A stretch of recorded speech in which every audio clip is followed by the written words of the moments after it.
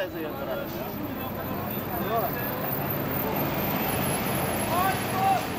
지난 토요일 오전 7시 공식 선거 유세가 시작된 지 사흘째 날인데요. 떴다 떴다 유시민 노란 옷을 입은 운동원들이 먼저 자리를 잡고 흥겨운 선거송을 부르며 이른 아침을 깨웁니다. 어둠이 다 가시기도 전에 유시민 후보의 하루도 시작됐는데요. 많은 등산객이 찾는다는 광교산 입구. 파이팅을 해주는 유권자들의 힘입어 오늘 하루 일정도 활기차게 시작됩니다. 오늘은 저기 여기 이제 수원 광교산에서 아침 인사하고 마치밥 먹고 이제 부천, 광양, 시흥, 안산 이쪽에 진양까지 계속 유세입니다. 아이고 감사합니다. 오늘 역시 빡빡한 일정이 계속될 것 같은데요. 아무리 바빠도 유권자를 한분 한 분 만날 때마다 허투루 지나칠 순 없죠. 함께 사진 찍는 건 기본이고요. 지지의 뜻을 과감히 몸으로 표현하는 사람도 있는데요. 선물까지 준비하고 달려온 지지자도 있었습니다. 감사합니다. 종일 연설을 해야 하는 유시민 후보를 위해 준비한 비장의 선물. 이거 이거 뭐 혼자 드세요. 뺏어 드신다는데. 아, 우리 우리 운동원들도요 목 많이 써요. 아, 그럼 너무 여- 양이 적겠네요. 아니요 이제 오늘, 오늘 하루는 연명하는데 충분할 것 같습니다. 열이니까요. 미래의 유권자가 될 꼬마들과는 눈높이 대화를 나누고 정치 색깔이 다른 사람들과의 인사도 마다하지 않는데요. 그래서 유시민 후보를 지지한다는 사람들. 힘들대 그런 게 아니라 아 정말 힘들구나를 확실히 알고 계신 분 네. 아는 만큼 체감하시는 만큼 좋은 정책 피실 거예요. 단일화가 됨으로써 우리나라의 모든 정치가 바뀔 것 같고 또 정말 젊은 도지사가 돼가지고 우리나라의 모든 거를 획기적으로 한번 바꿔주십사 해서 저희 운동하게 됐습니다. 오전 10시 아침 인사를 마치고 이동한 곳은 김만숙 민주당 부천시장 후보의 사무실. 오늘 이곳에서 정책 협약식이 있는데요. 치열한 경선 끝에 야 4당 단일화에 성공한 유시민 후보. 경기도지사에 당선되면 당을 떠나 서로 협력해서 도정을 이끌기로 약속하는 자리입니다. 유시민 후보 선거운동을 통해서 젊은 유권자들이 이번 선거에 관심을 많이 가지고 꼭 투표할 수 있는 계기가 됐으면 좋겠다라는 생각을 갖고 있습니다. 그래야 경기도가 바뀌고 그래야 지방자치가 바뀔 수 있을 겁니다. 도전을 맡게 되면 음, 선거연대 할 때처럼 음, 도전을 할 때에도 서로 믿고 배려하고 잘 상의하면서 그렇게 도전을 네, 운영해야겠죠. 야권의 대표 선수로서 어깨가 무겁다는 유시민 후보. 협약식이 끝나고 곧바로 시작된 거리 유세에는 든든한 지원군이 함께했는데요. 그런 물질이 아니고 더... 김진표 전 후보가 여기 함께 계십니다. 바로 야권 단일화 전 경기도지사에 출사표를 던졌던 각 당의 후보들입니다. 각기 다른 옷을 입었지만 한 목소리를 내고 있는 유세 차량으로 이목이 집중됐는데요. 달리던 버스 안에서 잠시 멈춘 차량 안에서 관심과 응원의 박수를 보내는 사람들.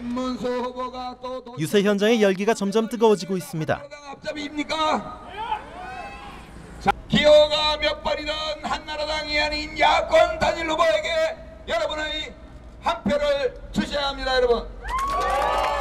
단일화 이후 각 당 유권자들의 관심이 한데 모아지면서 유시민 후보의 지지율도 상승했다고 하는데요. 정경...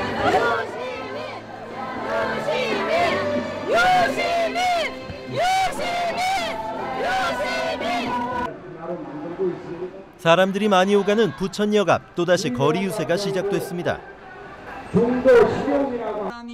국회의원으로 TV토론 진행자로 달변가라는 평가를 받기도 했던 유시민 후보.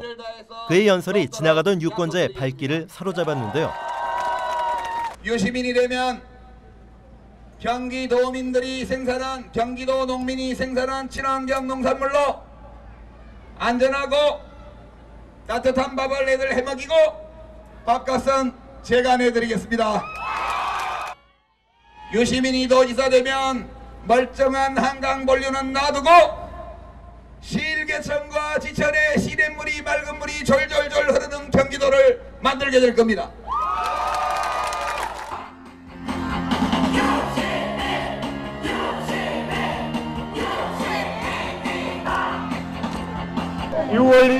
쌓인 공세까지 이어졌는데요. 유세 현장에서 만난 유권자 가운데 20, 30대 젊은이들의 관심이 눈에 띄었습니다. 점심시간도 없이 또다시 이동이 시작됐는데요. 이번엔 또 어디로 가는 걸까요? 유세 차량이 멈춰 선 곳은 바로 광명입니다. 오늘만도 벌써 다섯 번째 이동인데요.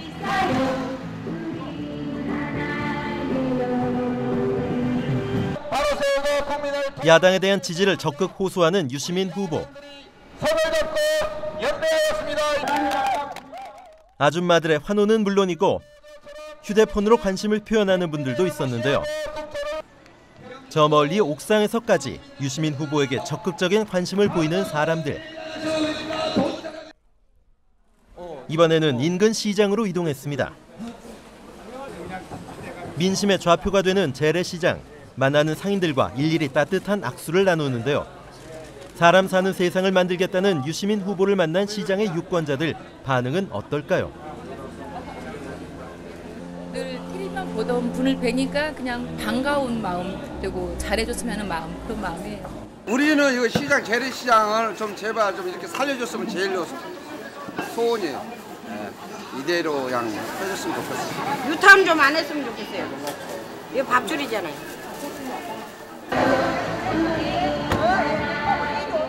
지지자들의 응원을 받으며 또다시 이동. 이번엔 경기도 시흥입니다. 쉴 틈 없는 빡빡한 일정이 계속되는데요. 일정도 일정인데 목이 벌써 쉬어가지고 목 관리 뭐 특별히 좀 준비하세요. 목 캔디 목 캔디 하루 종일 먹어요. 근데 이거는 유시민 후보가 차량으로 이동할 때마다 빼놓지 않는 일이 있으니 여기서 벌써 김문수 후보가 또 뭐라고 하고 다니는지도 봐야 되고 계속 GTX 공략이네 가는 데마다 적을 알면 백전백승 상대 후보와 관련된 기사를 실시간으로 검색한다고 합니다. 이동 중 급히 멈춰선 곳은 다름 아닌 주유소. 바빠도 급한 일은 해결해야죠. 상기 아니고 저 직원이 가져가라고 줘가지고 차에 잠시 멈췄을 뿐인데 정이 듬뿍 담긴 선물까지 받았습니다. 차를 깎아내나? 요즘은 예전과 다른 관심사가 생겼다는 유시민 후보. 조금 이렇게 넓히는 것 같아요. 그 전에 보건복지부 있을 때는 여기 다니면 보건소하고 보건지소 이런 간판만 그렇게 보이더라고요.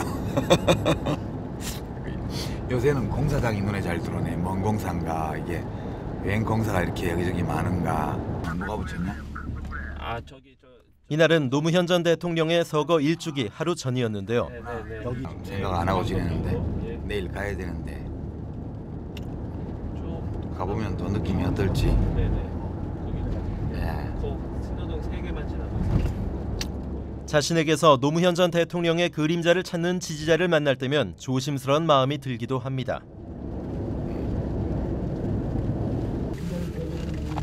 자, 이제 오늘의 마지막 유세 현장 안산에 도착했는데요. 얼마 전부터 비가 쏟아지고 있었습니다. 우산을 쓰고 먼저 현장에서 기다리고 있는 지지자들. 그러나 매번 이런 열성적인 지지자들만 만나는 건 아닙니다. 예, 저희 야당이 아직 부족하고 고쳐야 될 점도 많지만 이번 6월인 지방선거에서는 야당 후보를 선택해 주십시오. 이제 8일 앞으로 다가온 선거.